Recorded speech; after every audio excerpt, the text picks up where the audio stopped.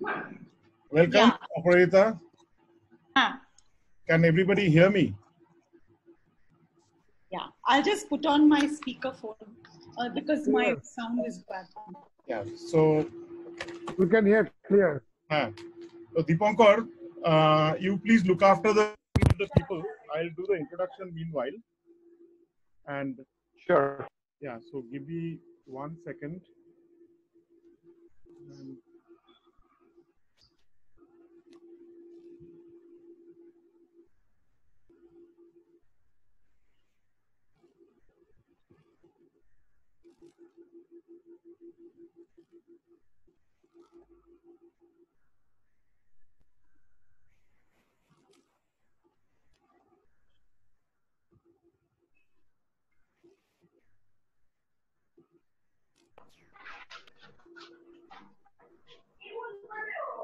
Hi, Parajita. Hi. uh, I can more- see a lot of familiar names. How are you? Are you in Delhi? Yeah, yeah. Few more letters to be signed. yeah. so, excellent. Thank God we have now managed to get over the glitch. And Yeah. uh, স্পিকারকেই ঢুকতে পারছে না স্পিকারই ঢুকতে পারছে এই না। এরমই কি হয় অবস্থা? এরমই হয় always that's always the case আর কি করবো So let me let me Yeah. introduce Operator to uh, everyone. Uh, I personally know Operator from probably 1991, uh, but then of course we lost contact because she was in the field, and those were the days of non-communication. And we got back into communication after probably a decade. And um, uh, we used to get feedbacks about her when she was in Namdapha, and I started going to Namdapha and heard about her findings of obviously not only the hornbills of the of the deer, the leaf deer, and the different uh, things over there.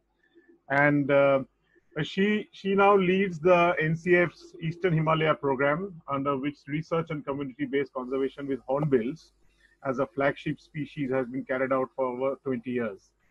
Uh, she completed her PhD on hornbill biology and their role in seed dispersal in year 2000.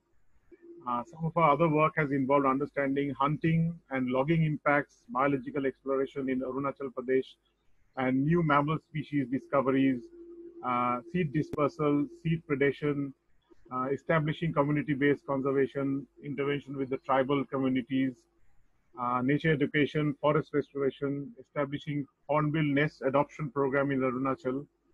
Uh, she has written several books uh, for children. She has been a member of the National Tiger Conservation Authority and State Wildlife Advisory Board of Arunachal. She has engaged with government on the management of several tiger reserves and critiqued proposed uh, hydropower projects in uh, Arunachal Pradesh. She now believes that doing research is more satisfying uh, than easy, uh, and easy than the an on-ground conservation and the reconciliation between wildlife and people is not always possible. Uh, she has received several awards over the years, including National Geographic Emerging Explorer Award in 2010, Whitley Fund for Nature Award 2013, and she is also currently the co-chair Asia for IUCN Hornbill Specialist Group. And I will hand over to you. Meanwhile, uh, I'll just uh, Sujan, thanks. Yes. I'll just share the screen. yes, yeah? yes, First, yes. let's see if that is working. Huh? You Because can do that's that. what I'm worried about. Um, wait, first I'll have to. because I've made you a co-host, so you should be able to share your Yeah, just one minute. And also a request to all the participants that uh, while you are here, you can turn off your microphone so that there is no background noise coming in. Um, and while she speaks, you can send all your questions in the chat box. At the end of the program, I'll uh, I'll read out the questions and the and the queries can be answered. Excellent, great. Can you uh, see it? Yes, Yeah, okay. Um, yeah, thank you very much for inviting me. And although it's a very uh, bad time to start and give a talk, uh, eight o'clock in the night, but thank you. And uh, I hope all of you uh, will, you know, have the patience to listen. Um, it is a bit long because, um, yeah, so um, my, uh, I'll be so before I, you know, so Sujan basically asked me to talk about our work in North Bengal, which has just start, you know, started three years ago. Uh, so most of my work has, of course, been in Arunachal and some other states in Northeast India. So, you know, there's been 20 years of research in other parts of, um, in, in Arunachal and all that. And, uh, a minute, how this, why isn't this going? Um, the next slide is not coming. What, what happened? Use the lower left-hand corner oh, arrow. Yeah, but it's. Um, Are you doing it through the Zoom uh, app or you're doing it through your actual presentation? I was doing it through the my uh, computer. It works normally that way, no? So why isn't it Bottom working? left, there's an uh, there's an arrow. Hmm. Of the on the screen. On the screen, see where the Nature Conservation Foundation logo is, just below that. Yeah, yeah. Maybe you Just a can click on those arrows. Yeah. Okay. Yeah. Um, uh, so you know, uh, before I go on to that, I just wanted to talk about hornbills. So hornbills are. This is of course not an Indian species of hornbill. It's the wrinkled hornbill found in uh, Southeast Asia, and it's a very um, you know. So hornbills are very bizarre looking. They are like you know. Um, they have these. Many of them have these huge casques. They have this um, orbital skin around their eyes. And although mostly they are black and white or brown in color in terms of their plumage, they have uh, a lot of startling and striking colors in their, you know, in their casque or in their uh, orbital skin, or they have these gular pouches in which they carry, they can carry up to 200 fruits. Um, so they're very large and striking birds in the forest. And you know, my prior work has always, you, you know, was always on mammals. And I was not much of a bird watcher before when I first started work in the forests in Arunachal. I used to study squirrels and other species. And, uh, but hornbills were very prominent in the place in uh, Arunachal where I began my uh, main work uh, in Pake Tiger Reserve. And, you know, somehow I fell in love with them. And also because I was interested in their role as seed dispersers um, they're you know very very highly frugivorous and important seed dispersers. So so that you know that resulted in my you know uh, you know beginning my work on hornbills, and um, oops, what happened? Yeah, okay. Uh, so the next you know, so the, there are, uh, as all of you, many of you would be knowing, there are nine species of hornbills in India. And in, uh, in the North Bengal region, you actually have five species, but the Indian grey hornbill is not seen more in the forested areas, but it's seen in, you know, slightly, you know, rural areas and near towns maybe. So the, the main species in the, in the North Bengal area is the great hornbill, the rufous-necked hornbill, the wreathed, and the oriental pied hornbill. And, uh, and in Northeast India also you have five species, which includes the uh, brown hornbill, but not the Indian grey. So, you know, our main work has been in the Eastern Himalaya biodiversity hotspot, which is at the confluence of three different realms, uh, the Palearctic, the Indian, and the Indo-Malayan.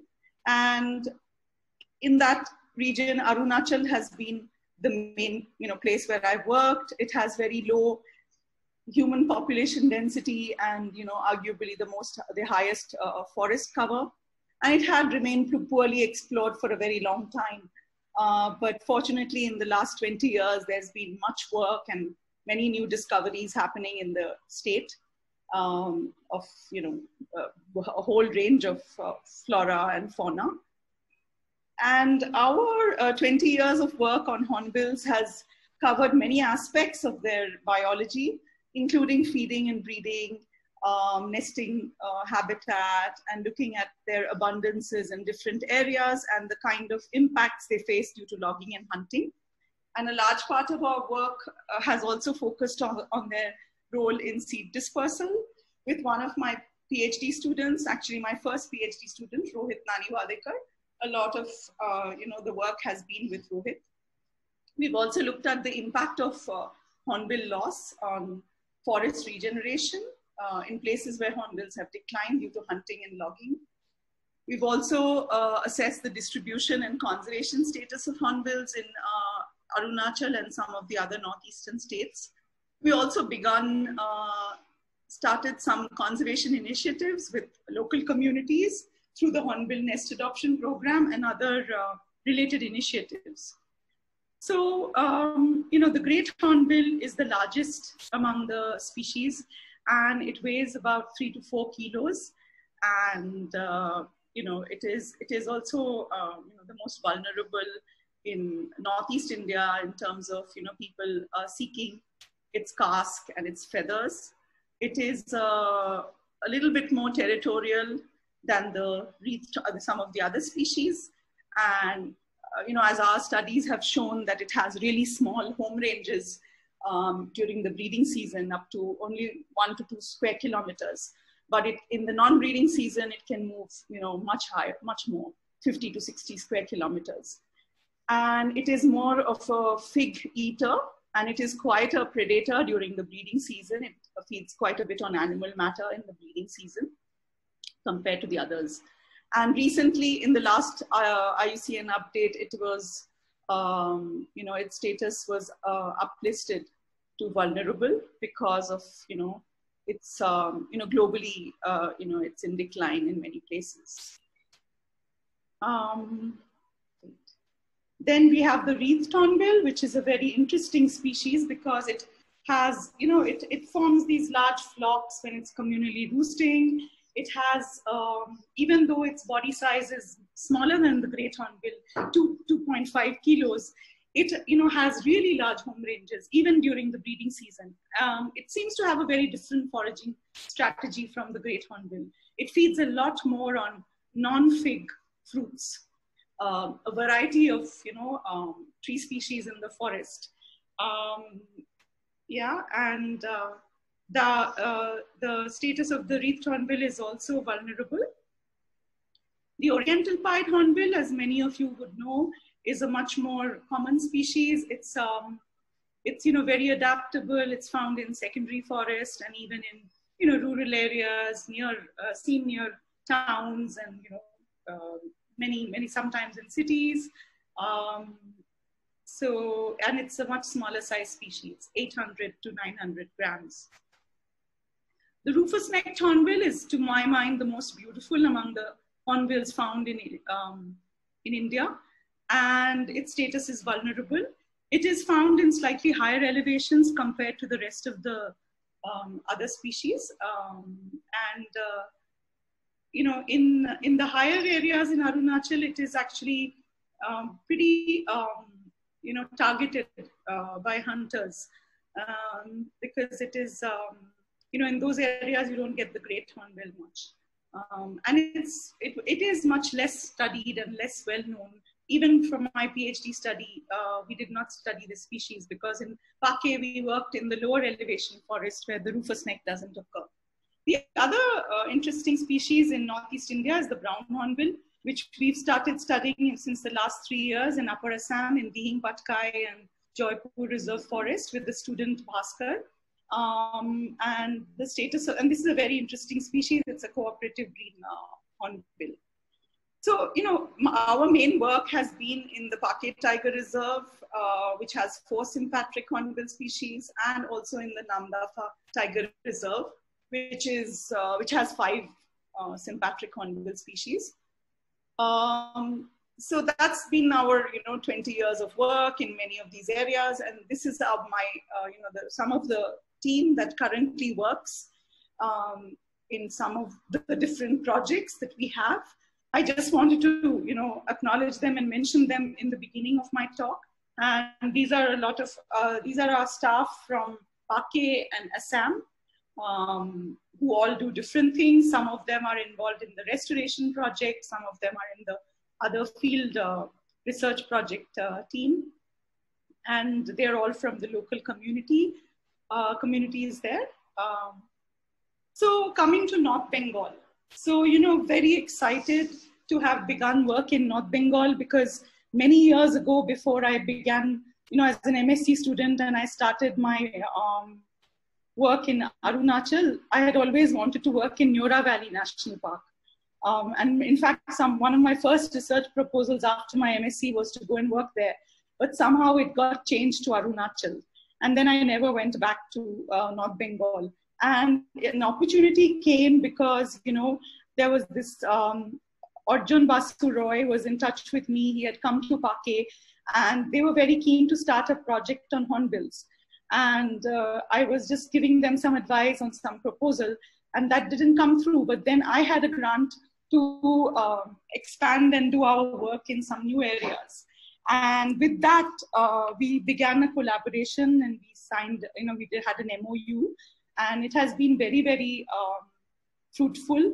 And we've le- learned much uh, from our work in um, you know, in North Bengal, though it's only been three years. So this is the team in Buxa. Um, so Orko was the person who worked in the first two years. He left the project in June 2018. And then uh, Karishma joined as an intern, Karishma Pradhan, and she is now with the team. And Dollar joined last year in September 2018. And then there is Sitaram, who's been a mainstay of the program from the beginning. He has, he's, uh, you know, he's part of Nature Mates and he worked with them before. He is from that area. He, um, he's from the village there. And uh, he's amazing in his natural history skills and his interest in plants. And then there is uh, Kejang or Kezacho Dukpa he's from one of the uh, he's from that uh, village, um, i'm forgetting the name. Yeah it's uh, up on the in the hilly uh, part. Then there was kishan kishan das who also has helped the team during some of the you know field data collection. Um, yeah so right now you know it's mainly um, karishma sitaram and dollar who've been doing a lot of the field work I unfortunately haven't been there actually since September, and I'm really missing uh, being in the field. Um, so it, when we began it, it uh, you know wanted to say that it was seen as I mean uh, it has re resulted in quite a bit of information, and it is uh, one of the first detailed studies on hornbills in the North Bengal landscape. North Bengal also forms the westernmost distribution limit for the wreathed hornbill and the rufous-necked hornbill and uh, this is stuff that I've already said, right? So one of the main objectives was to look at, uh, understand their breeding biology in the area, the nest site and nesting habitat characteristics and their diet, and look at nesting success, threats, and other requirements for hornbills in the landscape. So I must say that, you know, when we began this project, it was not going to be so much research. It was originally, um, you know, it's part of uh, uh, my idea to expand the idea of the Hornbill Nest Adoption Program to other landscapes. So the Hornbill Nest Adoption Program uh, is in Arunachal, right? It's outside a protected area. But we uh, wanted to identify critical hornbill areas in other states where we could uh, start similar programs in terms of long-term monitoring and protection of hornbill nests and all that. But then we realized that we couldn't begin in a vacuum. We needed to first understand a lot of things uh, and do some research also in the landscape before, you know, um, uh, jumping into some conservation work. And uh, even though we know a lot about the breeding biology and nest site characteristics, you know, every area there'll be some differences, right? So we want, we needed to understand that. So yeah, this is Buxa, the hilly part of Buxa, um, you know, uh, slightly beyond the Jayanti River. Actually, this is on the Bhutan side, actually. So, yeah. So in the last two years or three years, we've um, found, we began work in November 2017. Um, so we have uh, about three seasons of uh, breeding season data. The breeding season is ongoing right now. Hornbills are in, inside the nest. And uh, so we have, you know, in the first year we had, as you can see in the table, you can, uh, you know, there were these many nests that were found uh, of the four species. And then we had, uh, in 2019, fortunately, we found a lot more um, rufous-necked hornbill nests. And uh, then, um, and it also shows the number of active nests. One of the great hornbill nests uh, trees uh, was lost in a storm. uh, at the end of the breeding period, in the end of, I mean, towards the end of 2018. Uh, these are the locations of uh, most of the nest trees uh, in, in the Buxa Tiger Reserve. And, oops, wait. Ah, just a minute. Yeah. Just a quick update for you. Uh, your Buxa uh, Tiger Reserve director is here in the meeting. So okay, yeah, yeah, I saw him. I saw him. Be careful yeah. what you say. sure, sure, sure. okay, so um, so we had. Um, so I wanted to say in Buxa the uh, you know the main nest tree species is on Tetrameles nudiflora, which is uh, you know which is a very important nest tree even in Pake Tiger Reserve. But in Pake, it, it is actually 90% of the nest trees are on Tetrameles. But here in Buxa, there seems to be other species that are used, like Terminalia bellirica, Schima wallichii, and all those. Yeah. So, uh, but still, it is very important for all four species, the Tetrameles nudiflora. And oops, why am I doing this? What happened? Why did it go away? Um, one minute. Just a minute. I don't know why this happened.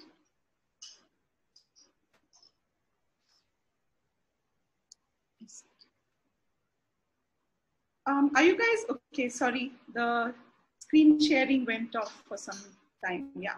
Okay. Yeah. Sorry, I pressed some other key. Very confusing. Why is this happening? Mm -hmm. Yeah.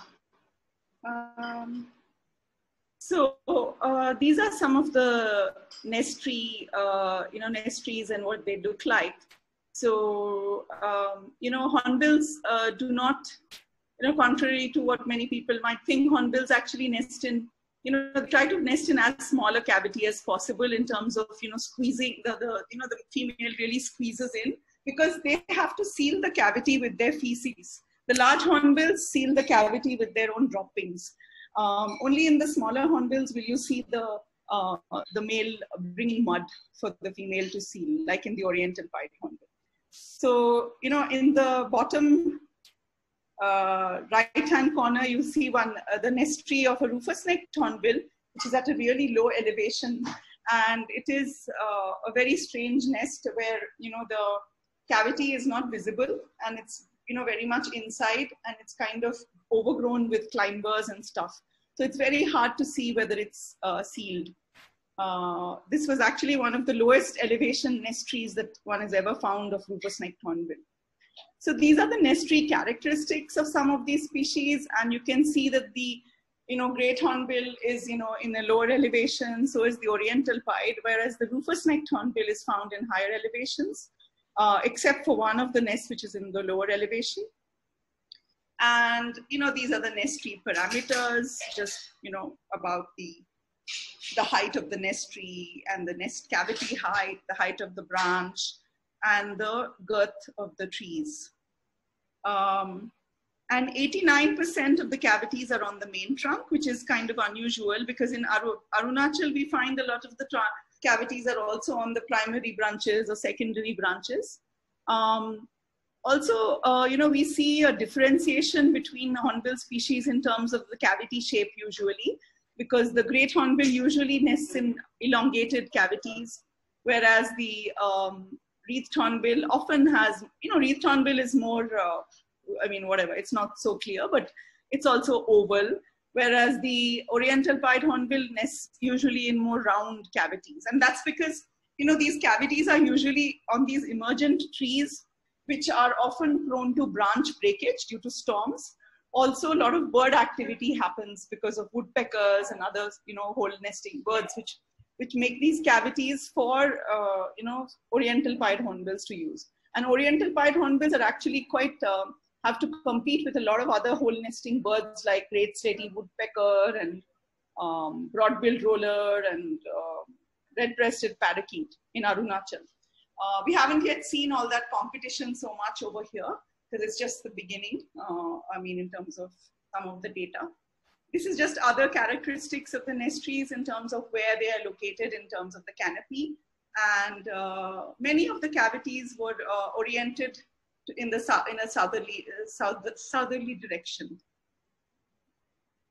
Um, so um, our team, uh, basically Orko and Karishma and Sitaram, as well as some of the others, and in the different years, they first one of the things that we started doing was looking at you know uh, doing intensive nest watches at some of the nests selected nests after the female entry so i won't go much into the methodology but basically in 2018 and 2019 we had these many hours of observation at two great hornbill nests and two rufous-necked hornbill nests and um, this is a sequence that just shows about the breeding biology of the hornbill. These pictures, by the way, are not taken by me. They're all by Karishma or by Sitaram or by Orko. Um, these, uh, so that's the pair before the female has entered. And this is, the second picture shows the sealing and the male delivering, um, you know, in fact, these guys recorded a lot of lizards, uh, different reptiles being fed at the nests over here. And that, that uh, picture on the left bottom is the female emerging. So in the great hornbills, as many of you will know, um, the nesting season starts from March. In Buxa, it starts a bit earlier than in Pake, in the towards the end of February, beginning of March, and uh, nesting is over by July. But the female comes out in the middle of the breeding season, around June usually, and she helps the male in feeding for the last one month before the uh, uh, chick comes out. So the chick reseals the cavity after the female uh, goes out. So the last picture shows the chick. And this is the visitation rate of the hornbill, um, the male hornbill to the nests. Uh, this is based on data collected for four nests in both the years combined. And it basically shows that the after the hatching, so the hornbills, uh, uh, you know, the chick usually hatches around the seventh week. And this is known from data from captive uh, hornbills in zoos because in the wild, it's very hard to really make out when the chick has exactly hatched.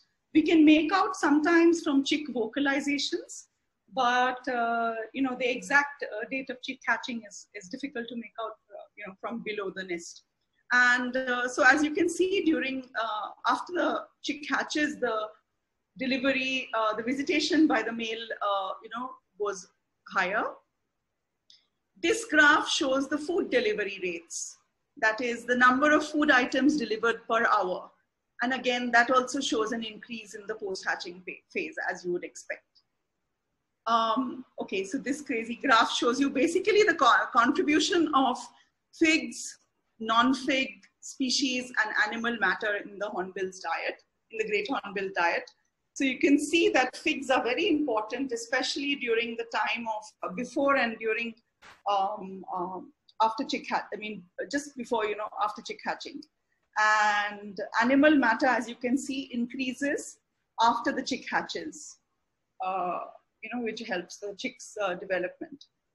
So in, in Buxa, the breeding season diet, we found 89% is fruits and 11% is animal matter which is more or less similar to what we found in Pake, which is around 90, you know, 95%. Um, figs um, were, you know, 42% of the diet was figs and the, you know, the remaining was, for, you know, um, non-figs. A lot of important uh, plant species in the diet, which have also been recorded in Pake Tiger Reserve.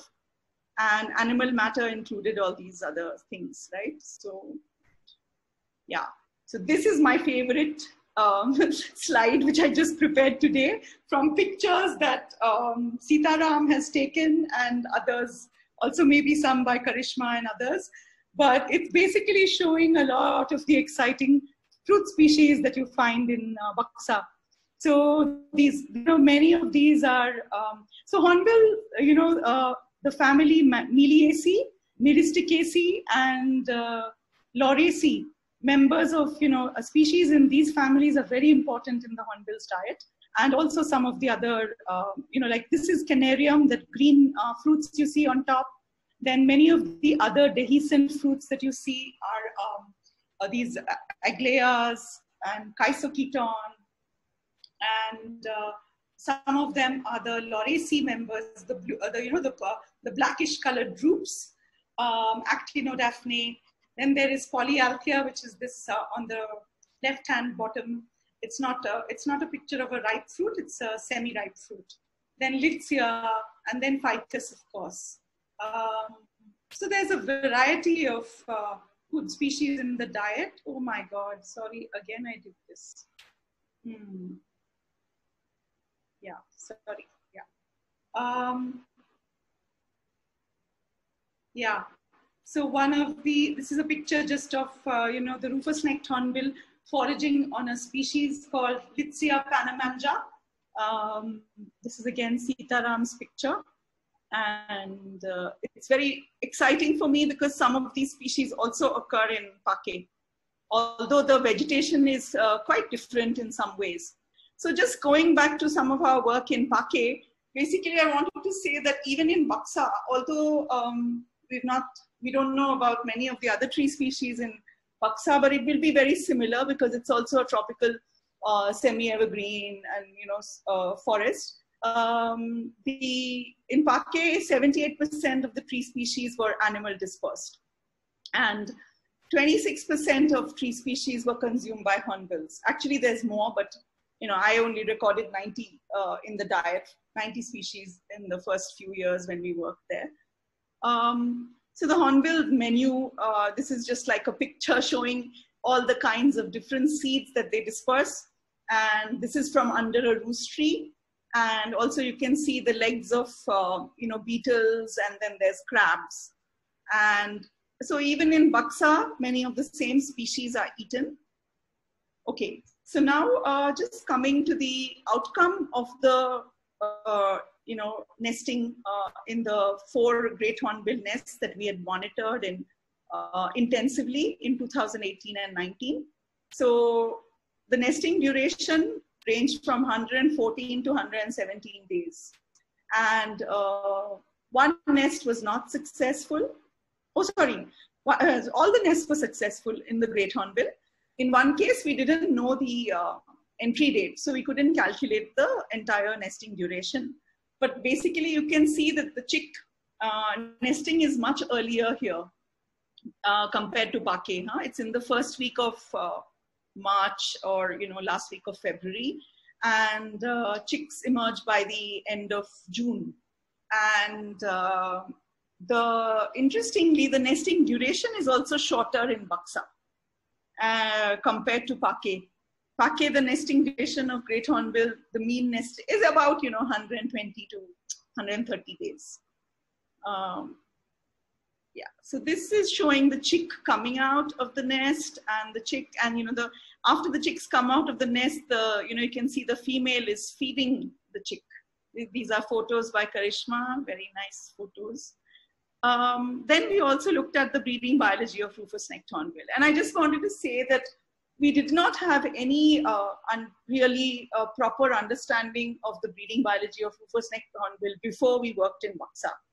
And that's really nice because in Arunachal, the problem is that we knew a few nests in Namdapha, we knew a few nests in Eagle Nest, but because of the terrain uh, in many of these, uh, in those areas, even though we worked on hornbills for such a long time there, rufous-necked hornbill was very elusive and uh, the nests could not be followed uh, through the breeding season because in Arunachal, they start nesting in the end of April and they go on till August, which is the peak monsoon.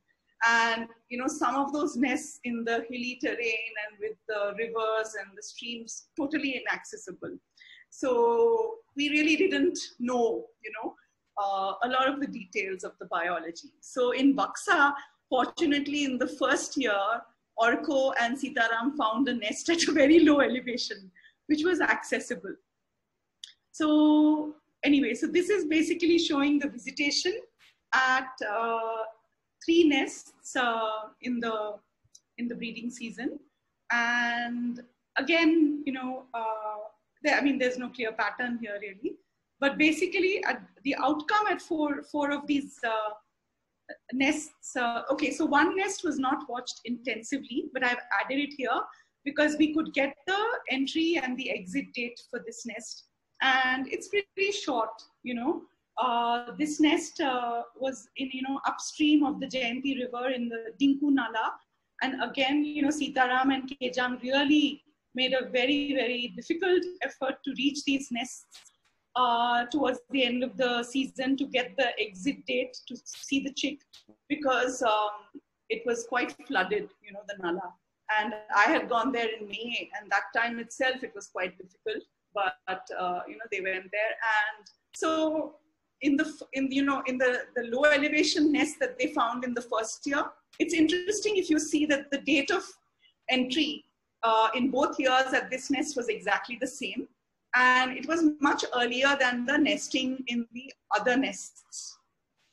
And in general, in Arunachal, we knew that the nesting of rufous necked is from the last week of April. I mean, uh, third week of April to fourth week of April. So, you know, I think in the higher elevations, they stick to that. But this nest is unusual, the one which was at the low elevation. But it was not successful in 2019. And uh, I keep doing this, yeah. Sorry. Uh, okay. So this is a picture of the chick, which was again taken by Sitaram, great difficulty during the rains. It was raining heavily during that time. Again, it was in August. And this is a video which I'll just play for you to show you how crazy the weather was then. And it was raining and windy. And the chick was refusing to come out. This is near the border with Bhutan, huh? a very uh, upstream of. Uh, okay.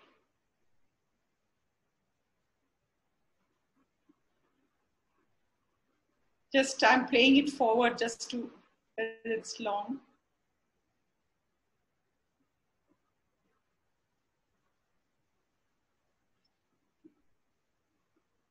So actually it didn't, I think it refused to come out.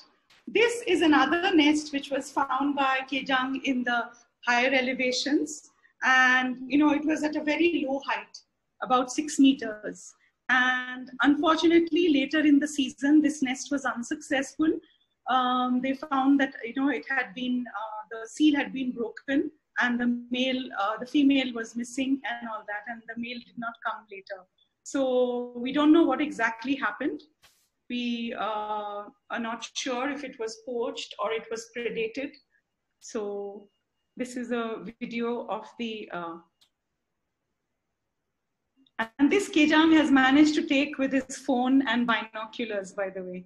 He's used his, so, okay. Yeah. So when you observe hornbills at, you know, when you do nest watches from a suitable distance, you can actually count the number of fruits being delivered and even identify many, very often the species that are being delivered. And that's the way we are able to uh, determine the diet of these birds. Oh God, keep pressing this wrong thing. Okay. So um, one of the, that nest which I was talking about, which was in the lower altitude of Rufous Neck, um, usually the nests are higher, right? And the great hornbill's nests are usually in the lower elevation range.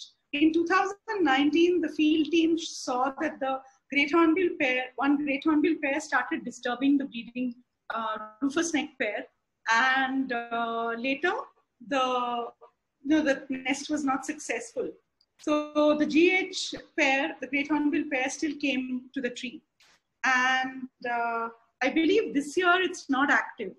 I mean, it was active, it was um, um, initiated nesting, but again, it has not uh, been, uh, I think it's been abandoned, the nesting at this nest.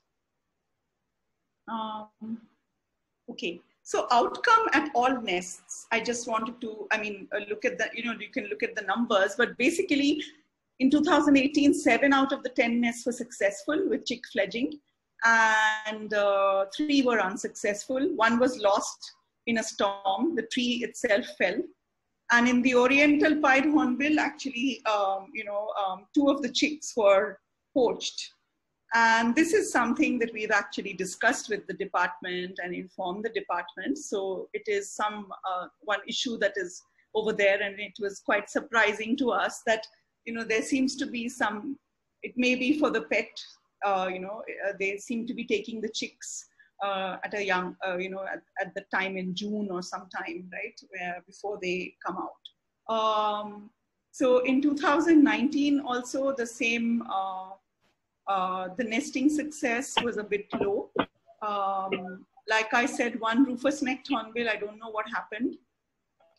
We're not sure if it was a natural predation or the uh, nest was poached in another nest we could not make out the uh, ultimate outcome because it you know it was not accessible. Okay so one of the things you know this is just to show that what you know there's something strange happened in a wreathed hornbill nest. So towards the end of the breeding season when they were monitoring the nest um, uh, the staff noticed that the in the wreathed hornbill nest the female was hanging out of the cavity it seemed like her foot was stuck.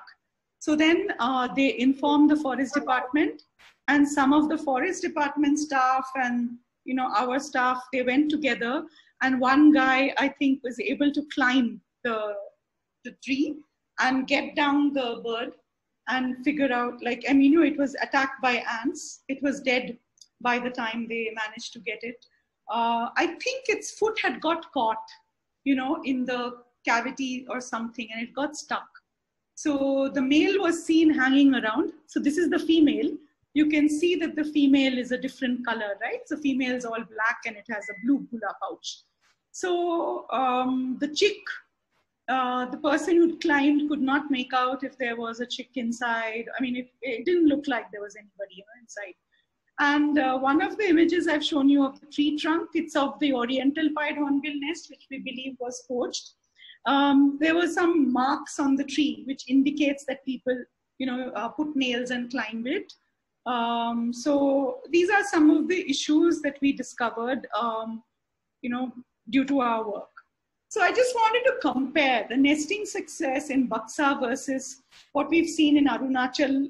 In Arunachal, we have data for 22 years, but I'm not showing the data for 22 years, but I'm just showing the data for the last eight, nine years um, to show the nesting success in the reserve forest, Papum Reserve Forest, where we have the nest adoption program with the nest protectors.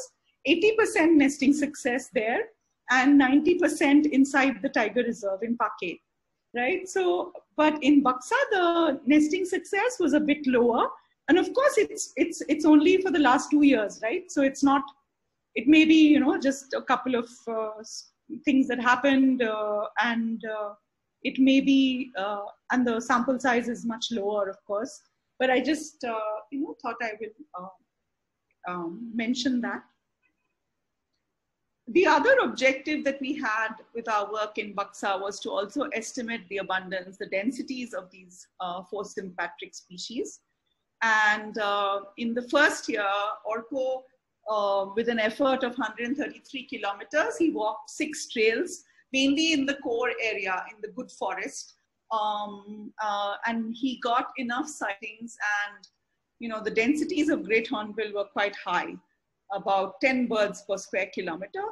Uh, wreathed hornbill, as expected, was a bit lower, and uh, oriental pied hornbill was, you know, around three, uh, yeah, three to four birds per square kilometer.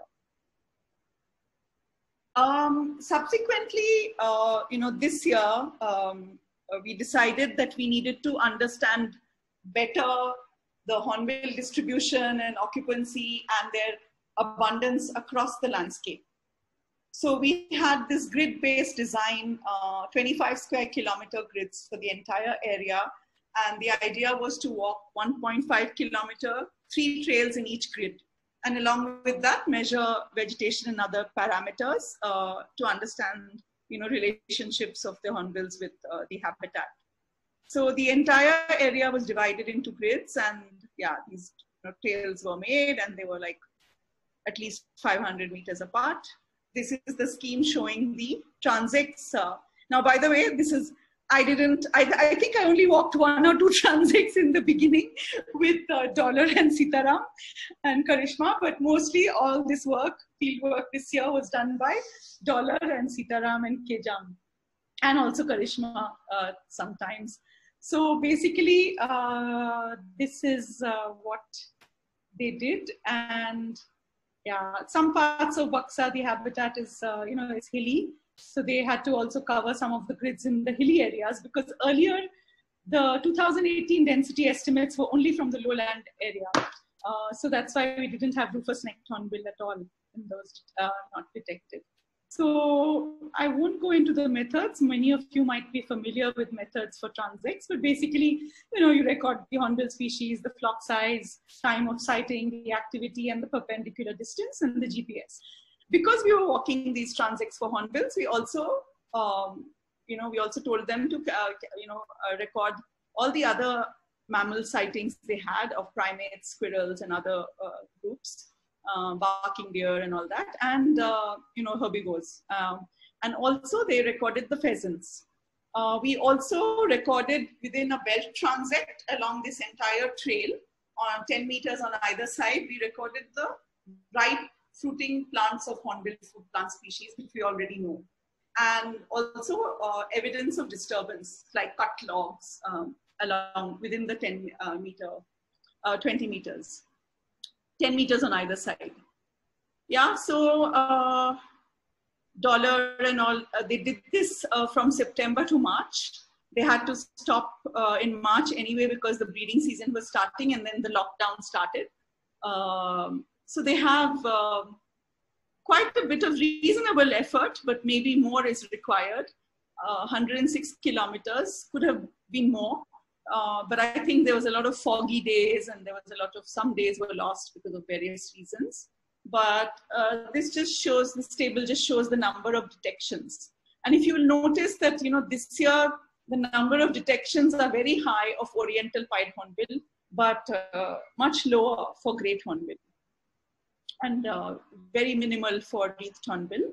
And only one rufous-necked hornbill was sighted, even though they did the high elevation transects. These are the encounter rates. Um, I don't know why I put this table because I don't think it's going to make much sense. Uh, but yeah, it's basically, we've not yet calculated the densities from this data.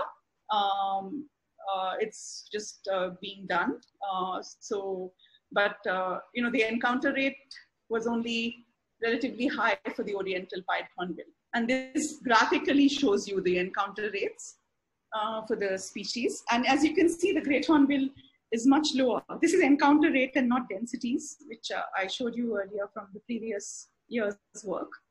Uh, interesting thing was that the hornbill encounter rate was positively correlated with the fruit tree density, which we had measured. And by the way, this part is preliminary uh, analysis. Uh, uh, this is uh, you know still in progress, most of this analysis.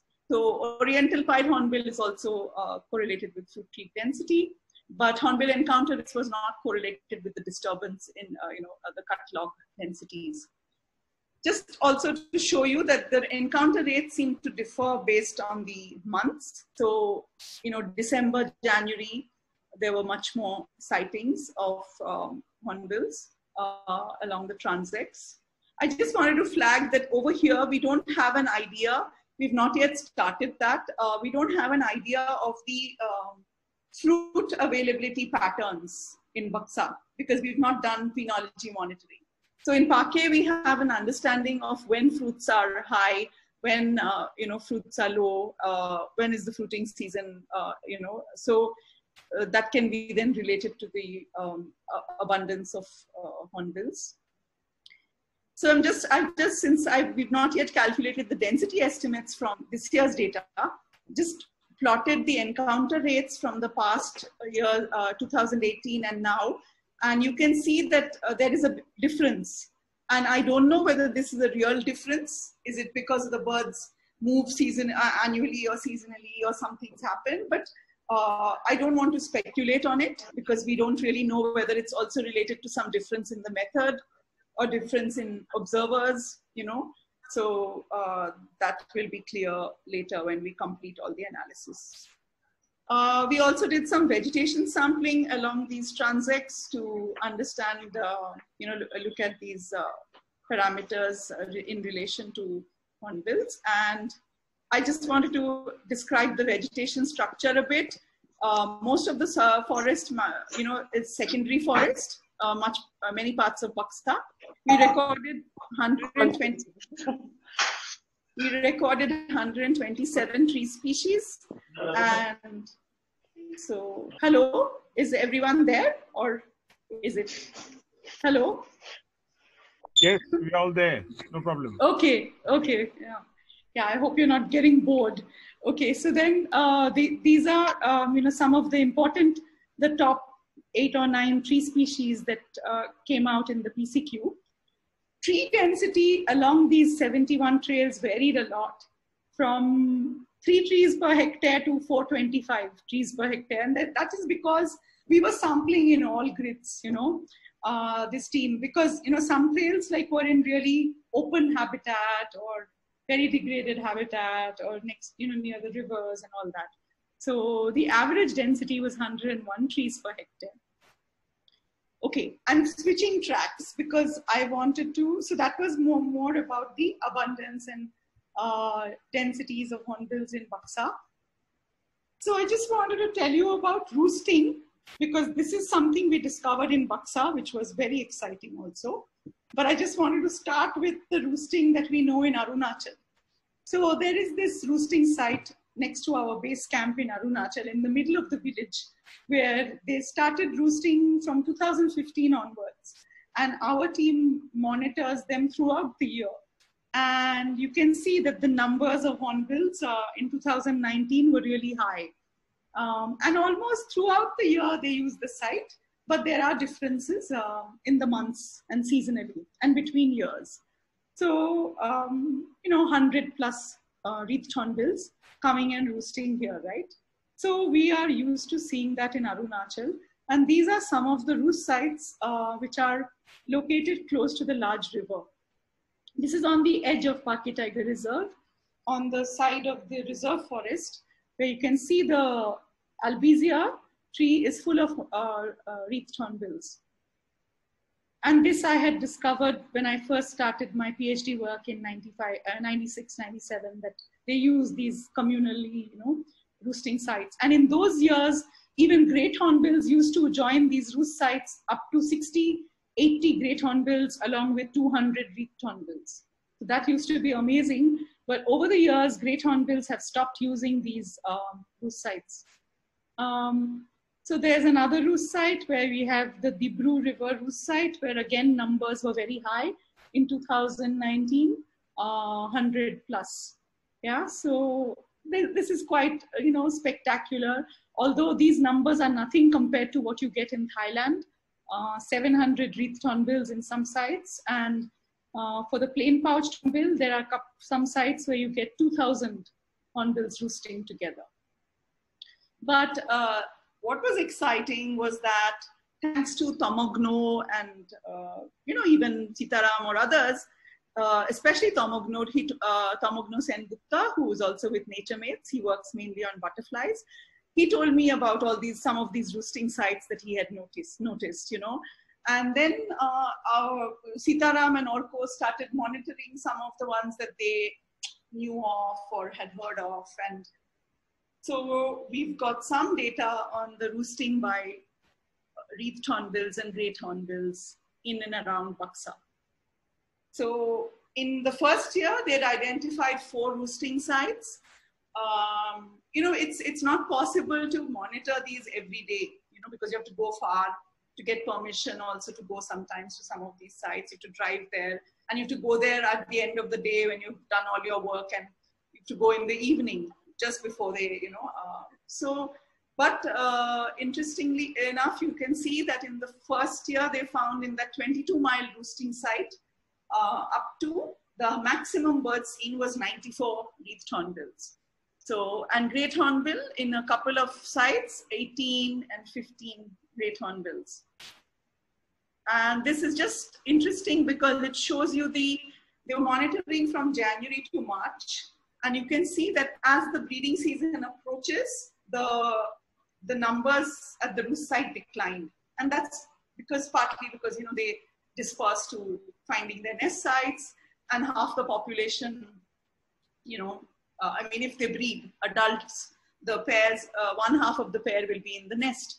But of course, we don't have data monitoring them during the breeding season to see how, whether these roost sites are used in the breeding season, but I believe they are not from uh, what these guys uh, say. This year, amazingly, uh, Dollar, Karishma, and Sitaram were also again monitoring the 22 mile roost site, and they found that they were roosting a little further ahead. And the numbers were 224 birds on one evening. So that is amazing. And, you know, so that is very interesting also because it contradicts. So when you see the density estimates for wreathed hornbill inside Buxa, it's like low, right? Uh, and you don't see them that much. And we've only found two nests. But there are lots of birds in the roost sites. So I believe that the population of wreathed hornbills is either moving quite a bit in the landscape or much of the population is also in the outside areas. And that'll be really interesting to investigate in future. And this year, of course, they found a few more roosting sites. So there are seven uh, roosting sites that are known. Um, this is like based on a lot of local information also. And some of them were not, one of them was not used when they went, but local people said that uh, they come and use there. This is a video shared by Karishma of the birds at this, you know, the 224 plus whatever. Yeah. And I'm sure some of you who are listening who are from North Bengal, maybe you, you're aware of this and you've seen it, but you know, it is, it's, it's very interesting and exciting that hornbills are there, so many, such large numbers. Now to switch tracks a bit, um, uh, the, um, you know, hornbills are under a lot of threat, right? So this photograph is from Arunachal, where it's, uh, they are hunted much more. Um, and you know, logging is a big issue. In many areas, hornbill habitats have been converted due to uh, cash crop plantations like rubber and tea and other things, right? So one of the, uh, you know, why conserve hornbills, you know, and well, hornbills are very important seed dispersers and they have many ecological roles. And of course, they have intrinsic value as, you know, species and existence value. But uh, why we need to conserve hornbills is also partly like, you know, if you look at the distribution and the, uh, the, you know, where hornbills are and what is their status. This is a, based on a survey that we, Rohit and I and others had done in 2013-14 across uh, five states of Northeast India, that is Assam, Meghalaya, Tripura, uh, Mizoram, and Nagaland. And you know, this basically is, was an occupancy-based survey where we based uh, it on interviews with uh, villagers, hunters, officials, forest staff, uh, uh, basically to try to ask them about the presence of hornbills in a given grid. Um, you know, in uh, uh in 1993 and 2013. So 20 years, like we wanted to see what, what was the change. And basically, this uh, color that you see, the occupancy, whatever you're seeing, is just the, um, the green uh, shades, shows the probability of uh, habit, you know, habitat detection probability uh, for these species in this, um, the range. And as you can see that the great hornbill is actually only in a few uh, pockets it's high, and that basically corresponds to some of the protected areas in the rest of the landscape, it's pretty like bad, huh? And the uh, the estimated like habitat which it occupies is 7,154 uh, 7, square kilometers based on our work. And uh, the other thing, a map shows the range of the great hornbill uh, from the IUCN in terms of the global, uh, you know, that um, Southeast Asia and uh, this um, Northeast India side. Of course, the great hornbill also occurs in Western Ghats, but anyway. So, and for the rufous necked hornbill, it was even worse 1,274 square kilometers. And if you see, rufous necked hornbill, of course, doesn't occur in most of Assam. And it occurs only in a very few areas of eastern Nagaland, which are also like uh, heavily hunted. Then Mizoram, you know, so very low probability of habitat use throughout most of the area. And when we look at the reduction in habitat use probability over the 20 years, based on the data that we, the interview data, you can see that, you know, um, there's been lot of reduction, especially for the great hornbill and the rufous-necked hornbill and the brown hornbill. Yeah. So hornbills are really uh, in a bad shape all over. So in that sense, the importance of, so we, you know, our work had always focused on Northeast India, right? But when we came to North Bengal, we realized that, you know, the rufous-necked hornbill, uh, North Bengal is really a stronghold for the rufous-necked hornbill, even though the area is maybe not that large, you know. And so apart from Buxa, we wanted to also uh, survey the areas outside um, Buxa, I mean, apart from Buxa, Mahananda and Neora Valley, and uh, some of the, uh, you know, other reserve forests and all that. So um, I'm not giving the methods, but basically our surveys, we also uh, looked at tree density and uh, this just shows the tree density in the protected, in the few protected areas in comparison to um, other PAs in Arunachal. Um, this is basal area of trees. And then um, this survey was done last year uh, by Rohit and uh, other people, along with Sitaram and Orko and others. Um, this was uh, in Neora Valley and Mahananda Wildlife Sanctuary, where you have three, three of the species. Wreath may occur, but it's not been uh, properly, I think, uh, recorded or reported, at least by us. They walked, uh, you know, it was a rapid survey done over a period of one or two months, I think, and I mean, few weeks so um, here the total effort was 60 kilo kilometers and it was done in an expedition mode. Many of you may be familiar with the names here and they had some detections of rufous-necked hornbills. This data has also not been fully analyzed yet. Uh, Mahananda Wildlife Sanctuary, actually we need to go back and do more work here. Uh, it was, um, it was, I mean, it was not completed fully uh, the survey here. It was supposed to have been done later in, and it, it didn't. Um, so apart from all this uh, ecological work, we also uh, have had uh, some, you know, meetings and discussions with the local nature and tour guides because our long-term uh, idea was that we need to uh, we may find lots of nests of hornbills and all, but if we want to develop a conservation and a monitoring program where hornbills are safeguarded, hornbill populations, then we'll need to engage with uh, different groups, right? And of course, and of course the forest department because it's the it's within the tiger reserve in in this case. So, um, but the nature guides in Buxa are also um, very much interested and uh, they needed training. So one of the things that we had done was a very very uh, it was a very short because there was some, they had a lot of work and puja and all was coming. So they only found two days for us to have this thing. There was a plan for doing a much more uh, detailed uh, training workshop, which has not happened yet. We, at that workshop, we gave them some resource material, uh, field guides basically, and all that. Um, and in September 2019, we had a workshop with the forest department officials. Uh, Mr. Ujjwal Ghosh was there. Unfortunately, some of many of the other officers could not be there because of another meeting or something. But there we all presented our work.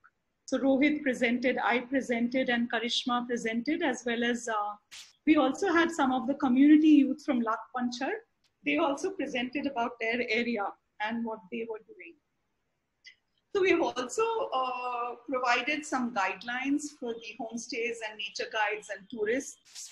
It's been shared with the forest department and the Latpanchar youth.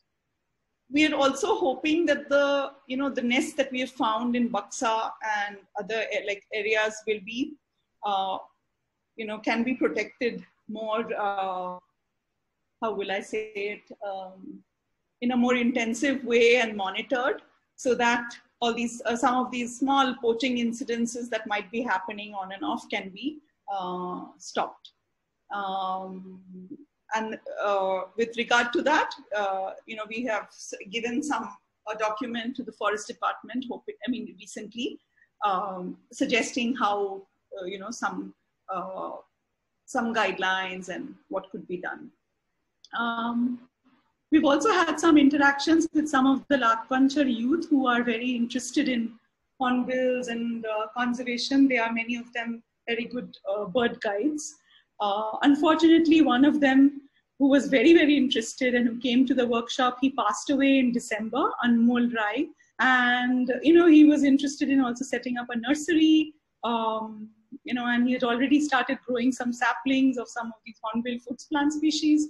And they wanted to, you know, develop, the, there was a lot of tourism there, but they want to make sure that they do things which are uh, within the, you know, with some limits and which doesn't disturb uh, the birds. And also they didn't want, they had, they themselves have found five hornbill nests in their area. They wanted to also make sure that, you know, uh, many of them were interested in observing the nest. And I think they've collected some information earlier. So um, our team, a couple of articles have been written about the, that area and the work. And uh, we've also put together some of their observations and Karishma has written an article in their name, uh, which might be published uh, soon. So these are the you know workshop pictures and all that, and uh, so um, huh, as a result of that workshop, Mr. Ujjwal Ghosh had suggested that we um, make uh, some material for the forest department staff and also give some training to the department staff. This was supposed to happen in March, April this year, but couldn't happen because of the lockdown and coronavirus, uh, unfortunately. So I don't know when we'll be able to do it. Um, he also suggested that we uh, make these brochures, you know, which, and there were quite a bit, many of the staff were very interested. In fact, some of them have called me later because we gave them some of my old Hornbill books to tell, uh, tell me about observations they are making. Uh, one of the rangers from one of the RF divisions and we've made these posters in uh, even in Bengali. Arjun uh, Nature Mates, they translated the posters into Bengali and they printed the posters. And it's been distributed in Buxa. I don't know whether it's been distributed yet in uh, the other places. Uh, so these were posters, breeding cycle posters for the four hornbill species there, as well as a overall poster. And we made a booklet which basically tells the department staff about each of the species, um, a lot of information about their diet and ecology and nesting and all that. So this is one the one poster. Um, and it's available huh, free for anybody who wants to use it anywhere. Um, it's downloadable on the NCF website. Um, then these are the breeding cycle posters for the four species. And this is the cover page, I mean, the page, I mean, showing the booklet that we've made. Um, this one has not been printed yet uh, because it got completed later in. Uh, so uh, some reflections. Um, so the density of Great Hornbill was comparatively greater in 2018. However, a more extensive survey across the park revealed lower densities. We don't have the density numbers, by the way. I'm saying this based on encounter rates. Um, Hornbill density appears very low uh, when you look at, uh, you know, walking in transects uh, in the park, but you, when you see the numbers in the roost sites, it's quite high seasonally. G uh, the great hornbill, surprisingly, is less susceptible to, oh, I made a mistake in the, uh, less susceptible to poaching here, whereas uh, more incidences appear to be happening for oriental pied and maybe for rufous necked hornbill. So, and in Buxa, of course, the rufous necked hornbills are seen in higher elevations only.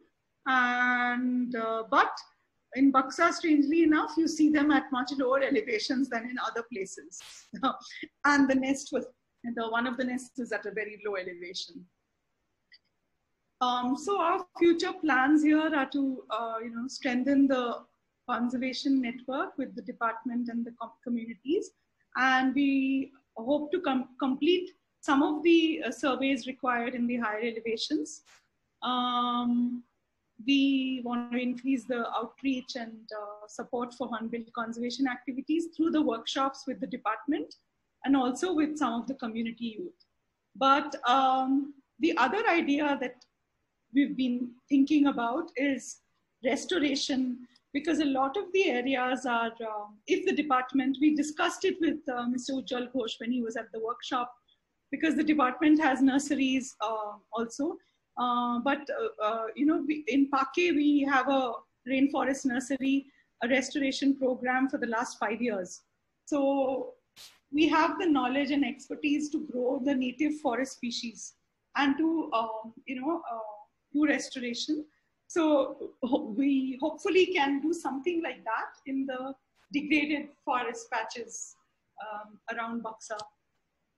Yeah, and we would also like to work in some of the other areas um, because when we did that workshop, we had uh, officials and staff from Gorumara and all the other PAs as well as the reserve for territorial divisions, and many of them seem very interested um, in knowing about hornbills in their areas. Oops. Yeah. Just wanted to thank uh, and acknowledge uh, uh, Forest Department. I mean, NCF does not have the permit, uh, permits directly. It is through NatureMates, and uh, thanks a lot to NatureMates, who's our partner, and Arjun and Dev Sena and Tomagnu and Rishin and everybody. And uh, um, yeah, and everybody else. And you know, thanks to my funding uh, agency, which uh, made you know made this work possible. So because uh, Sujan had told me to talk, I mean, this has already been so long. I'm sure many of you are quite bored and sleepy. Uh, so I will not be talking about other aspects of our work in Arunachal. Uh, yeah. Thank you very much. Thank you so much, Aparajita there are a few questions uh, I would like to read out uh, for you. Uh, one okay. comes from Sagar uh, Adhurjia. He's from Durgapur. He says, "What is the reason behind the behind the southward facing orientation of the hornbill nest holes?"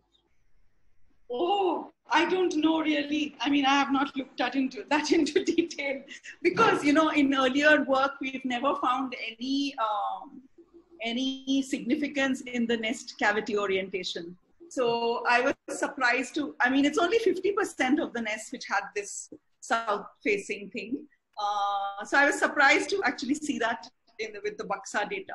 So unfortunately, I can't answer that question right now because in Pake or other areas, when we've looked at so many nests, we have seven, I mean, we've not found any pattern with uh, nest orientation. Yeah. Okay, next question yeah. is from Sarala Khaling. Yeah. Uh, Sarala is, uh, you know Sarala from before. Yeah, yeah, of yeah, course. Yeah, yeah. Yes. Many. Uh, hi, Sarala. Sarala can unmute herself if you want to speak. Hi. Uh, you can uh, you can ask you? your own question Hi, now. You? Where are you now? Are I'm you in, in Gangtok? Oh, okay, okay. Nice to. Uh, thanks for listening. Sarala, you can ask your own question. No, um, Apu, what I was wanted to know was, you know, we did this. We also had this project on uh, um, in Neora Valley. Yeah. Looking at the dietary aspects, usually looking okay. at the dietary aspects of uh, the hornbill. Oh. So basically, looking at you know uh, dietary use of wild edible fruits, huh. but also you know uh, looking at the competition between local communities and the hornbills actually. Oh, I so, see. Interesting. So yeah, so what they eat, a lot of it is collected and sold in the markets also. So we did a lot of surveys of these local markets and the villages actually around yeah yeah Neora Valley. Yeah, and we found a list of uh, these things. So I just wanted to know your opinion, you know, because ah. um, we didn't do on the ecological part right. so much. So I wanted to know what is the impact of this on the hornbills because it seems like a lot of these are also uh, people make livelihoods out of these. Yeah. So, uh, Sarala, I'd be very interested to know the uh, species names. Which are the species? Okay, I'll just uh, okay. Report in front of me. So I think um, one is uh, par, par Ficus bengalensis, Huh. Entada scandens. Okay. Okay. I think the, the sound is the sound the sound is bad suddenly. Yeah. Okay. Maybe we can uh, talk about it. Uh, you know, talk about yeah, the species later. But I'll tell you the answer to this. Yes. You know, so in Arunachal, it's very interesting what you said because actually in Arunachal, I don't know if it's true in Neora Valley also. In Arunachal, there is a particular Phoebe species, which which the Nishi people and other communities love. Hmm. They go crazy for it, you know, and it doesn't fruit every year. And it's sold in the markets, you know, people collect it by kg, you know, and then they uh, sell it for uh, five rupees, you know, I mean, 10 rupees or 20 rupees for five fruits. And these are small, like, you know, four centimeter fruits. And hornbills also disperse this, you know. So ultimately, people are collecting all these hornbill fruits Yeah. but uh, they they will they i think will realize that hornbills disperse them unless of course some of the ficus could be dispersed by a whole range of seed dispersers. But uh, you know in the case of some of these larger uh, lauraceae species uh, fruits uh, hornbills disperse them. So it'll be very interesting to look at the impact of this collection regeneration. You know a study uh, to look at the impact of this uh, on the regeneration of these species in the wild. Because if most of the seeds are being removed then uh, recruitment will be very low in the future Yeah. i don't know but you know if it's ficus it may not be so uh, i couldn't hear the names of all the species i could hear uh, Ficus, Entada. So there's, a, I mean, a whole, Okay. there's some Nepali names also. oh okay okay yeah but you you send it to me no please Then we'll- yeah Okay, thank you. Uh, next in line is Shubhendu Das. Shubhendu, you can unmute yourself and uh, ask your question.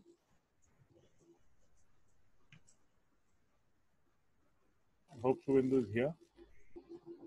Well, if he's not here, what is the home range of all the sympatric hornbills uh, and how many preferred nest trees present in all these ranges, especially in the species overlap zone? and any relationship between the body size ratio to the nest cavity size, any difference between Buxa, Pake, or Namdapha? Um, Hmm. Oh, that's a lot of questions. no, so I uh, so home range uh, we've only estimated for the great and the wreath hornbill in Pake, you know. So and that is also a very short period of time, uh, three months, uh, you know. So home range of the great hornbill during the breeding season, I think I mentioned in the beginning, is one to two square kilometers in Pake. And in the non-breeding season, a couple of individuals that we have, the range is 50 to 60 square kilometers. But from Thailand, uh, studies show that they can range even much more, you know, in the, and uh, wreath hornbill, the breeding season home range is, was uh, 50 square kilometers. But this is for one male. Um, we do not have uh, wreath hornbill non-breeding season home range uh, because you know our data was only for. As far as uh, overlap uh, between, so if you saw the range, we've not yet analyzed in great detail the species differences in Buxa, but if you see elevationally, there seems to be a difference. So most of the great and the, the great and the oriental pied hornbill nests are in the lowland area um, where, whereas the rufous necked is obviously in the higher elevation. There was only one nest which was in the lowland area, which I repeatedly mentioned. Um, the uh, hornbill in Pake and Namdapha, it's a lowland, like it, it nests in lowland forest below 500 meters. Here, uh, it seems to be uh, in small numbers, you know, and we've only found two nests of wreathed hornbill in Buxa but that's the paradox no like so while you don't see them much on the transects you don't see them don't see many nesting trees but you see a lot of them roosting in large numbers outside or on the edge of the so i don't know where they go and where their areas are So the wreathed hornbill is actually a very interesting species and it requires satellite telemetry to study its movements and understand where it goes and what it does. Um, sorry, what was your other question? It uh, was any relationship between the body size ratio to the nest cavity size?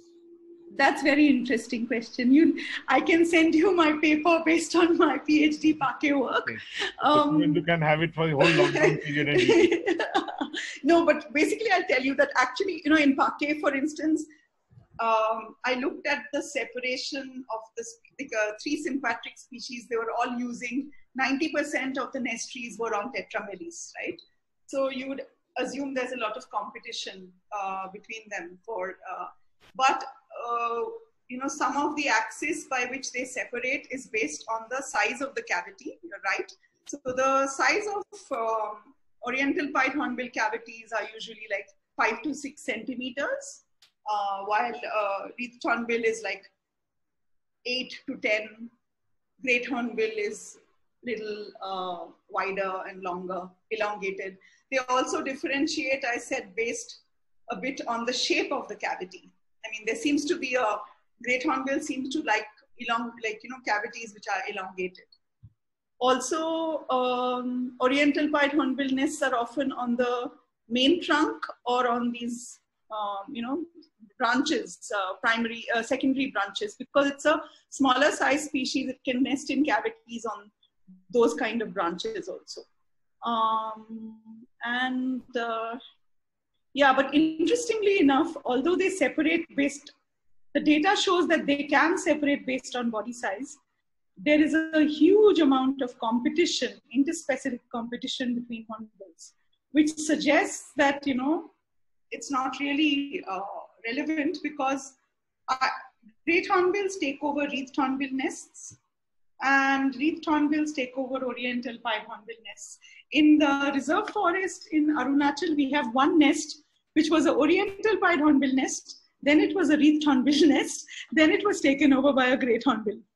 So, and all this is possible because we have long-term data, right? So in Pake, for instance, we know some nests for 24 years. So we know that, okay, who was the, you know, who nested in these years? And who's the other one who t- t- took it over.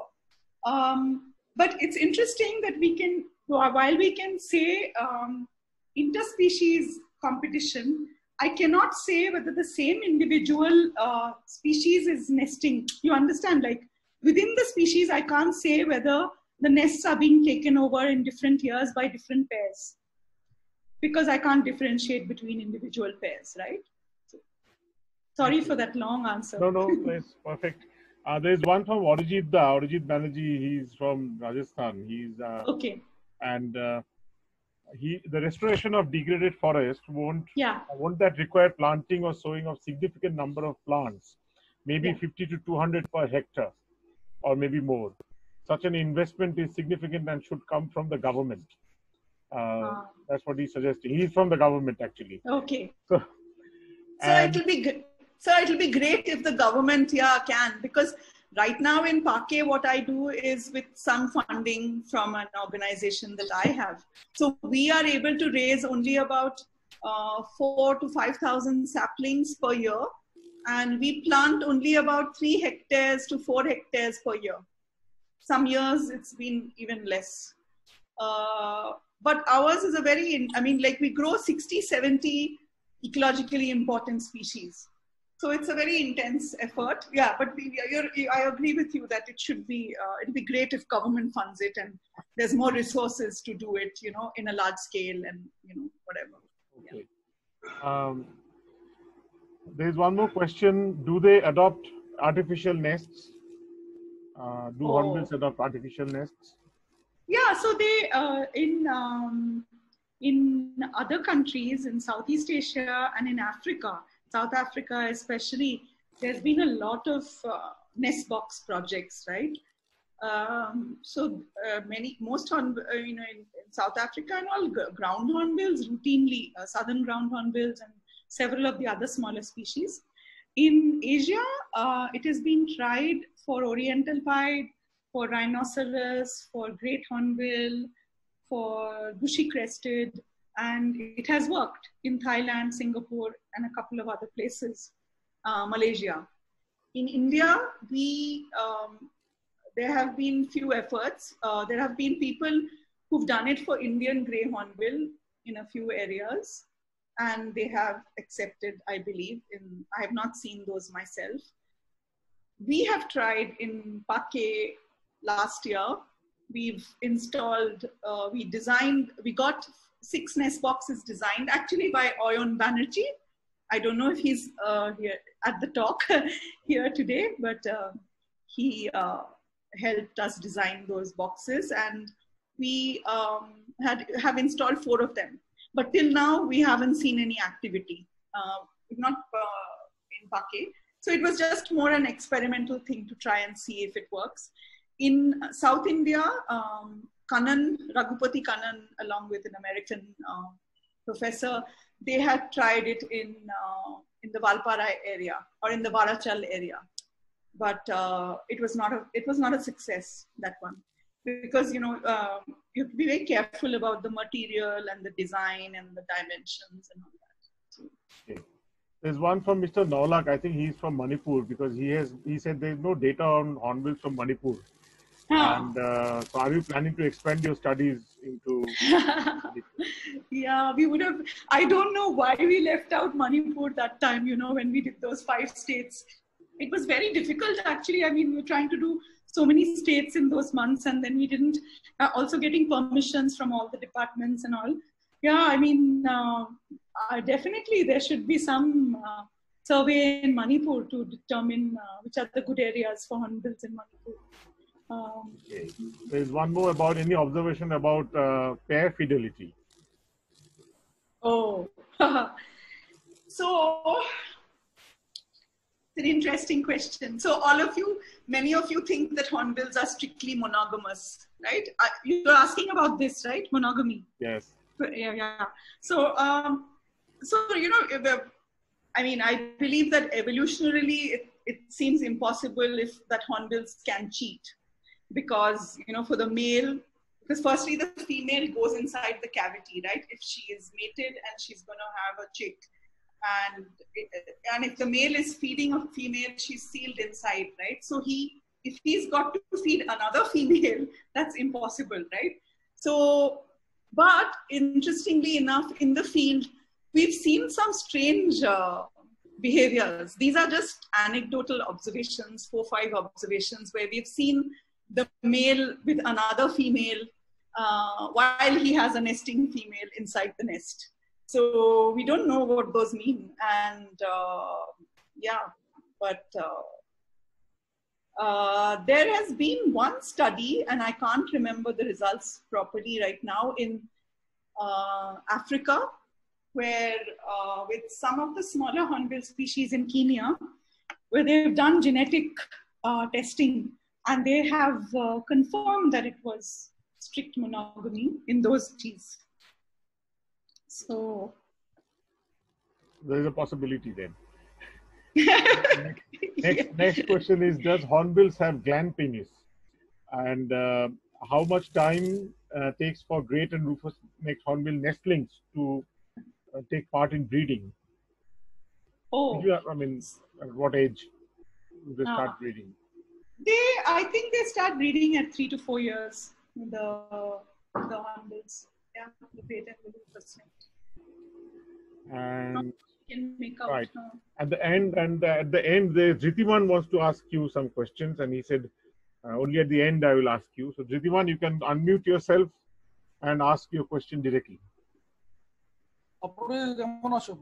হ্যাঁ ভালো আছি আমার তো ছোট ছোট প্রশ্ন আছে আচ্ছা ওরে বাবা হ্যাঁ না আমি ওটা ওই somewhere related to that uh, adaptation because you are working in a changing landscape and working for long yeah. so have, have you noticed any kind of adaptation like for for example so they have uh, priority trees so because of uh, decreasing number of those varieties, they change the trees and they are using some trees which they never use. Some kind of, I mean, those kind of adaptation. Have you noticed any species or any any So yeah, this is the first so, question. Huh. Yeah. So can I answer that first, and then I'll go to the next Yeah, question. yeah, yeah. So um, you know, it's an interesting question because so when I began my PhD work in '97 until 2000 in Pake, I did not see any interspecific competition for ne- uh, nest cavities. Of course, that was just a four-year period. But soon after, three years later, when I went back to Pake again to start work in 2003, I started seeing this co- competition for nest cavities. And I also observed the birds uh, nesting in trees which they never used before. A couple of species, I mean, we knew those trees. And in fact, we used to look at those trees as potential nest trees, but they had never used it earlier. But from 2003 onwards, they started using those uh, cavities, which were, I considered suboptimal. Why suboptimal? Because they were on the edge of the road, close to, you know, disturbance and all that. So those were some of those observations earlier. And uh, one of the interesting adaptation that is happening now, which we are actually trying to analyze, I didn't, because Sujan asked me to talk about the North Bengal work, I didn't go into all that. But because we have long-term data in Pake, we are seeing a shift in the breeding timing in uh. Uh, because we have data from 20 years, we are starting to see that hornbills are nesting earlier in Pake than they used to in the past. And uh, in 2017, most of the nests were 29 days earlier than the normal average in the previous uh, 17, 18 years. So that was a big shift. And, and obviously, because they nested earlier, they exited earlier. I did not see any correspond like I did not see any problem because at the I had expected that oh they're nesting so early so then there'll be some problem maybe the chicks will not you know maybe not be successful but everything was fine and correspondingly we have noticed that the fruiting patterns that I documented in the past has changed because we also have been uh, monitoring the fruiting trees long term so we found that the fruiting tree, uh, you know, the timing of fruiting has also shifted.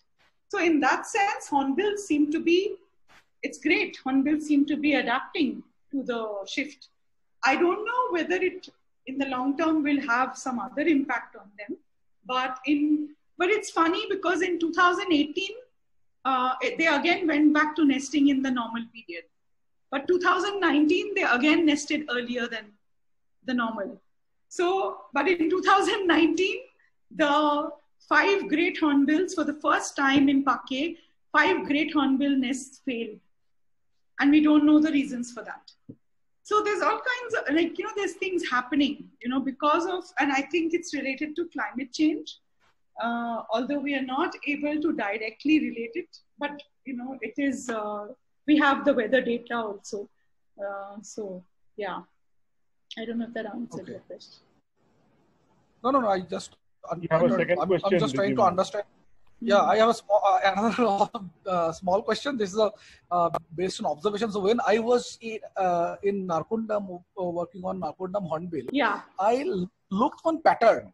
Like uh, when they feed, there is a cycle. Like uh, I mean, my question is here: if you see the same kind of pattern in any species, they, I mean, there it is not. It was not haphazard like they're uh, feeding the uh, fruits and fruits and fruits. So there's a cycle like fruits, fruits, protein. I mean the insects and then fruits. I mean there's a pattern in insects and fruits. hmm, There's a you know. Hmm. Uh, I mean it's not chaotic. It was not chaotic. hmm. So I I but my observation like for 15 days observation it was not a long observation. Hmm. So have you noticed some kind of this here also in uh, this this species? Like is there any pattern in the you know the sequence of uh, feeding the in uh, the insects and the fruits?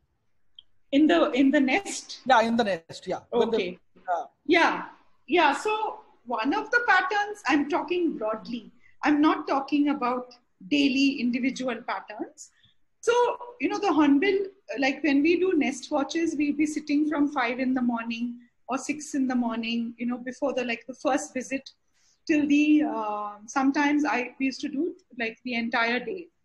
Uh, so basically the horn, yeah, so the, the, the male goes foraging. It'll bring fruits. It'll also bring uh, insects at some point.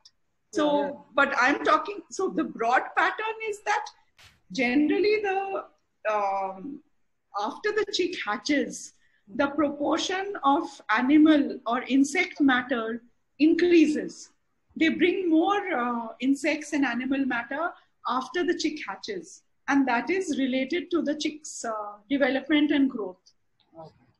And also, obviously, they also feed on fruits that are available at that time. So it's very interesting when you um, record the seeds falling in the below the hornbill nest in the midden, and you collect those in seed traps. You can see that it mimics the the availability of fruiting.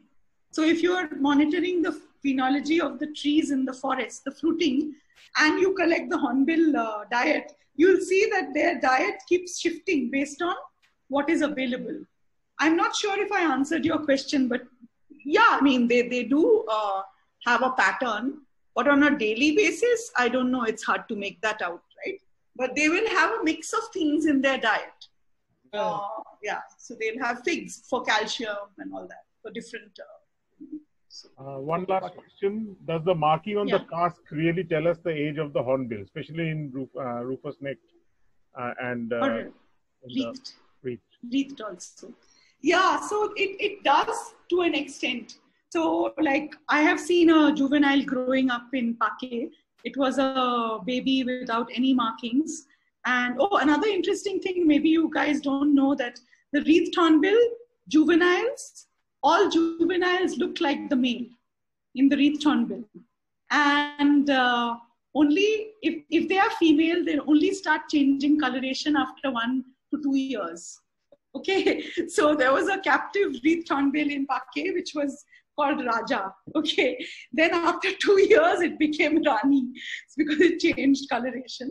But to get back to the question about the casque, so basically, if you note, I mean, I noticed that it grows it, uh, it is almost exact, like one, one and a half years, there's a casque forming. Like the wreath hornbill has a wreath, right? On So that is corresponding to a year. Even for the rufous neck, similar. But only thing is that you can't, hornbills are very long lived. In the wild, uh, they live up to 30, I mean, in the in captivity, you have 60 year old hornbill. You have 35 to 40 year uh, hornbills, right? So we can only, obviously the number of car, uh, uh, markings or the wreaths will not uh, keep on increasing based on. So I guess you can say the minimum age. So I, I have seen up to eight or seven, right? Uh, so you can say up to that age. But beyond that, if the bird is older, you will not be able to tell.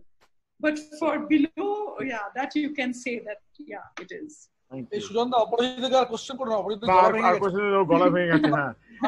please everybody maybe you can uh, start up your videos and i'll hand over to dipankar. Uh, he wants to uh, he wants to say something to maybe everybody can open up the start up the videos. You can see how many people are there. And uh, Bolo Dipankar, you're on. Thanks. So thanks, Aparajita, for a great talk. Uh, would like to talk about uh, my first interaction with Aparajita. Uh, it was uh, in the office of the Chief Wildlife Warden of Arunachal Pradesh, most likely 96 or 97. Oh my God. And, and I don't know what I'm to say. She was waiting for her permission. I was also waiting for my permission. We were not talking to each other. We didn't know each other. and after a while, were, those are the days when we didn't have Facebook, we didn't have mobile phones. And after a while, I think one of the local officers came in, uh, Ringu or somebody who spoke to me in Bengali. And all this while we were like, oh, I'm waiting. Oh, yeah, you're also waiting. And uh, didn't know, didn't even introduce each other. And then Ringu said that, Babu Moshai, how are you? And then Aparajita said, Babu Moshai? I said, no, no, this guy is a Bengali. I said, oh, okay. So then that started our interaction. And after that, uh, we kept bumping into each other in, uh, not exactly in, in field areas in Namdapha. I've never worked, but in different parts of uh, Arunachal. So thanks a lot, Aparajita, for this fascinating talk. And uh, maybe in the future initiatives of BWS, uh, if there are some studies which are related to habitats and hornbills, maybe we would require your advice and your guidance for that. Thanks a lot for Yeah. that. Okay. Keep inspiring. Yeah. inspiring. So I'll I'll close the meeting. Thank you, Aparajita, for taking so much time and effort for us. Um, I mean, what can I say? Thank you so much. I hopefully Yeah. will get you again for many other other Mhm. things. And uh, yes, and we we hope to do some more Yeah. work in North Bengal areas because that's one of the best places in the country also for I mean Yeah. general birds of all, all kind of birds. Yeah. And, Yeah. um, well, Yeah. I think now And yes, please, follow. Yeah. And I just wanted to say that, you know, I presented the data, but by the way, all this work, I'm quite old now. All the field work and the hard work for most, I mean, I, I went there, of course, some visits, but, you know, Karishma, Dollar, and all these people have done the work, and Sita Ram and all of them. okay, so yeah. Actually, I should have talked about the rest of my Hornbill work, and I should have asked these guys to present about the North Well, we'll get them. We'll get them on again for some some, yeah, some other sure, program, sure. and and, and they can they can definitely Yeah. enrich us of what's Yeah. exactly going on, uh, because this is a never-ending work. This is not going to end. It's going to carry Yes. on. Yes. And Buxa, you have just started. yeah. So yeah. thank you so much, and I'll say good night on behalf of everyone. Uh, thank Yeah. you for coming. Thanks. okay then. Yeah. Bye. Right. Yeah. Bye. Good night. Chalo. Good night. I'll close the Yeah. meeting.